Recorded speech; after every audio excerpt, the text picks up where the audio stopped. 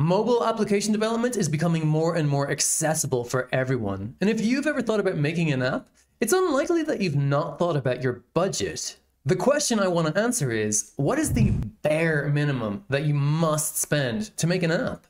So by the end of this video, I'm going to give you a concrete figure as to what is, in my view, the absolute rock bottom minimum that you need to spend to build an application. And I'm going to arrive at this figure by showing you various strategies that I use, including the use of free tiers and free resources to keep your budget tight. But let's take a step back first.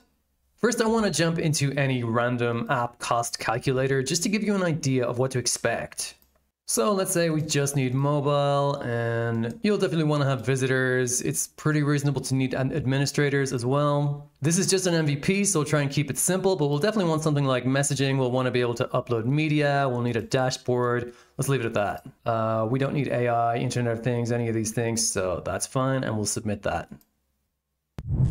Okay, wow. On average, we're paying 27 grand for this. And that price is in euros, so it'll be something like $30,000 for this application. 30 grand for a super basic bottom tier app. Now, I have clients who are like hobbyists and indie startup founders, even doctors, who have an app idea that could be really great for their industry. But they do not have 30 grand to throw at an agency in the hope that the agency will understand their vision. Which brings me to agencies. First, I want to be really clear there are some amazing agencies out there who do amazing work for their clients. And there are also agencies out there who will happily charge you $200 an hour so that they can hire a junior dev, maybe on the other side of the world, to hack together your app with no understanding of context or vision. And they'll pay that dev the bare minimum that they can. Earlier in my career, I once worked for an agency for $30 an hour. The agency that I worked for was great, but their client happened to be an agency. And I had good reason to believe that the agency who was the client of my client was actually passing my work through another agency before reaching the actual client. My god, the code that I inherited was so bad that I spent countless hours trying to salvage it. All costs that would have been passed up the chain with everyone taking their cut, and the end client will have been paying, I don't know, maybe 50 grand for a website. So what a mess the whole outsourcing industry has become. The problem is telling good agencies from bad ones. I mean, you could literally go on YouTube and you could search how to build a software dev agency with no experience. And you'll get tons of guides which basically explain this principle of how you can concentrate everything on marketing. And then you can just go on Upwork or Fiverr and hire a dev to do the actual fulfillment for you. I mean, what could go wrong? Ah, but then again, wait, if you go straight to Fiverr or Upwork yourself, you get pretty damn favorable number of choices. One of these people must be amazing, right? And it's only $200. What could go wrong? Do you know what qualifications you actually need to be a mobile app developer on Fiverr? I mean, you need to have the tech skills to be able to create a Fiverr account and to use ChatGPT to create a profile for you. Now, look, don't get me wrong, there are some amazing devs on Fiverr and Upwork. Finding them is what's hard. There are just too many stories of people being burned due to inexperienced developers and shoddy work. I mean, with the time that you would need to invest to truly get a really good developer on Fiverr or Upwork, feels like you could just learn to code in that time. So yeah, I mean, just learn to code. How hard could it be? okay, budget assessment so far. An agency could be about 30 grand, odds of it being a waste of money, mm, pretty fair. Freelancer on Fiverr, $300 plus. Odds of it being a waste of money, yeah, pretty high. At this point, we can talk about no code and AI tooling, but there is a paradigm shift coming up at this point, and that is the involvement of your own time into the equation. First things first, no AI will not write your mobile application for you.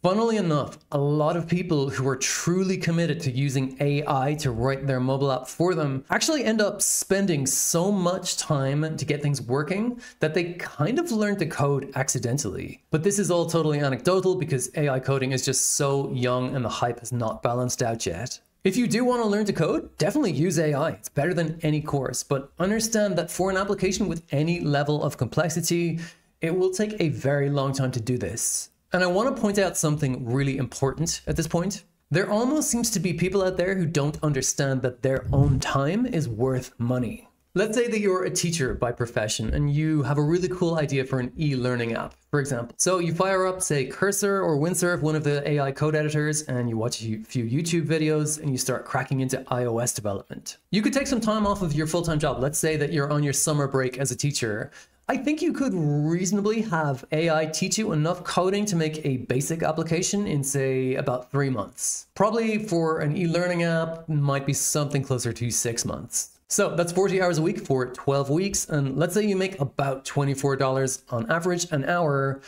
You just spent $11,520 on your app. And from a best practices and a scalability point of view, your app mm, definitely sucks and it probably will need to be rewritten at some point. Okay, let's call it 10 grand, maybe 20 grand if you went at it for uh, six months for a more complex app. Next, we have no code and low code tools. Flutterflow is my domain. This channel is all about Flutterflow development. I use Flutterflow because I think it's a great tool and it saves a lot of time it also introduces headaches of its own, and it does have kind of a steep learning curve. But my opinion is that Flutterflow will get you over the line much faster than using the pure AI approach because Flutterflow apps have established architecture and step-by-step -step guides for setting up things like push notifications or App Store deployments or payment processor integrations. Flutterflow will cost you about $70 a month plus your own time in getting through Flutterflow's learning curve.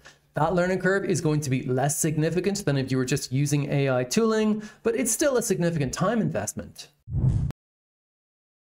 Okay, so far I've talked about the fundamental cost, which is getting the app coded up and functional. But there are other costs associated with creating a mobile application. Your users will probably judge you harshly if your design is bad, because cheap designs make an app look cheap. A really good yet basic design can ballpark cost you about five grand, so we're already in trouble. Design is not something you can fob off, and for me it's actually my biggest hurdle when I want to create an app as cheaply as I can, because I have all the natural design talent of a stapler. I'm waiting for an AI tool that can genuinely create a good looking app. And I'm still waiting. There are tools like Use Galileo, Magic Patterns, Uizard, but my experience so far with these tools has been underwhelming. However, UI UX design is not necessarily something that you can't try yourself. So if you make an app with a bad design, eh, it's still an app. Figma has a free tier, and then University of YouTube. If you have the time, and you don't have the money. Also, I can recommend Mobbin and also Dribbble to get inspiration, and as a first pass, that can be enough. It's worth acknowledging that under the hood, regardless of what direction you go down, you will probably be making use of open source software. And the open source communities are the vibrant and solid foundation of all of software engineering. And tools like Flutter and React Native, they're open source. So is Visual Studio Code, so are server-side languages and frameworks like those for Python or PHP, so is Git, so is Postgres, so is Docker. These are all super important and very free technologies. And the number of them out there is staggering.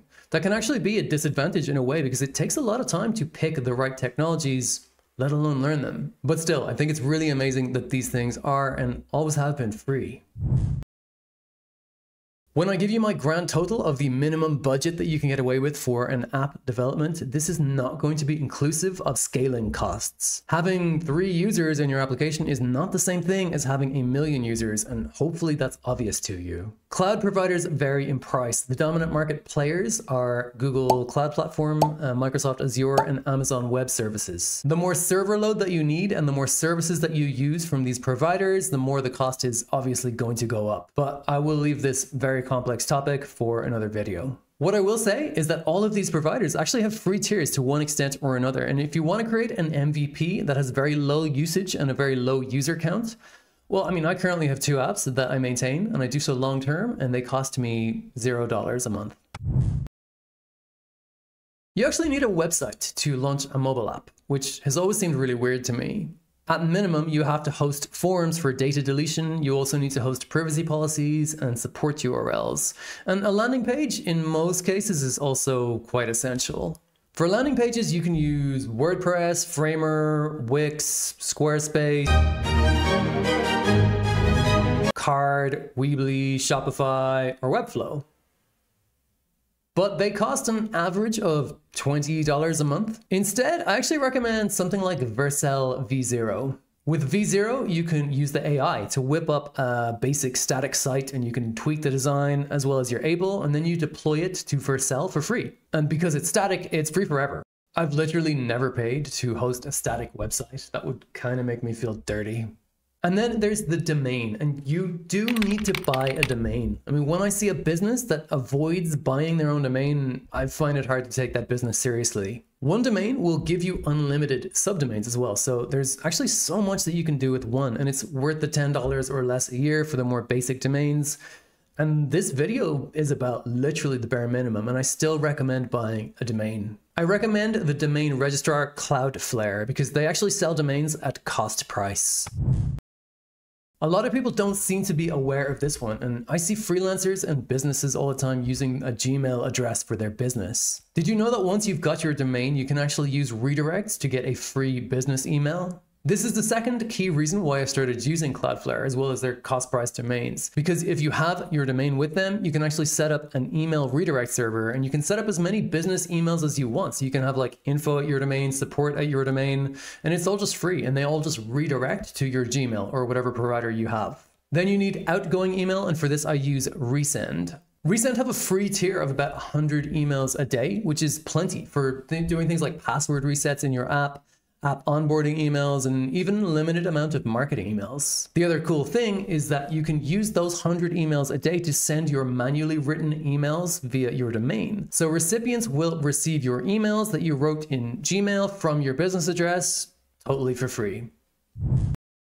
Marketing is hard and it's harder without a budget, sure, but you know what? Organic content marketing is free and it's a great long term strategy for marketing. And it's totally possible to do it all for free, but again, it's gonna cost you time. Okay, so thanks for sticking with me this far in the video. Now I'll tell you what the minimum price that you can get away with for a mobile application is, but you need to bear in mind that this price assumes that you have a lot of time to spare. So the underlying open source software is of course free. You might use ChatGTP or some other AI and get away with a free tier easily enough. Your Cloudflare domain, that'll cost you whatever the value of the domain is, but you could get away with less than $10 a year. Then cloud services with their free tiers, you can get away with totally free as well. And then the website, you can use V0, that's going to be free. If you DIY your UI UX, you can also do that for free. The Apple App Store fee, you cannot get away with for free. You need to pay the $99 to get your app in the app stores. And the same goes for the Google Play Store, but that fee is less, it's about $25. Then, as I say, if you use Cloudflare for your incoming business email, you can get away with having it for free. Resend has a free tier for sending emails. And then Quality control is really important. There are whole departments in bigger companies for quality control, but you're going to have to do the testing yourself. So bear that in mind. But you can DIY that for free. And then DIY, use organic marketing, use social media marketing, and you can also do that for free. Just bear in mind that a really crucial choice will be learning to code yourself using no code, using an agency, or using a freelancer. And whichever path you go down will make a huge difference in terms of the price that you pay. And finally, you have scaling up. And scaling up is going to cost you money. If you have a million users, your application is not going to be for free your servers are going to cost you money. So I can tell you genuinely that I have personally paid about $134 a year or about $11 a month to build mobile applications. Of course, I can also use those App Store accounts for any other apps thereafter, so that kind of dilutes how much it costs me. And I could even use subdomains of the Apex domain for separate projects if I really wanted to, for landing pages and that kind of thing. But I have been a software engineer for many years, so I know a lot of this stuff already. If you have to figure all of this stuff out by yourself and you plan to spend the bare minimum in terms of dollars, it's really important that you ask yourself honestly, what is my time as the application owner worth in dollars? And if you're thinking about Flutterflow or maybe how to leverage AI in your app development projects, try out this video next. Thanks for watching and I will see you in the next one.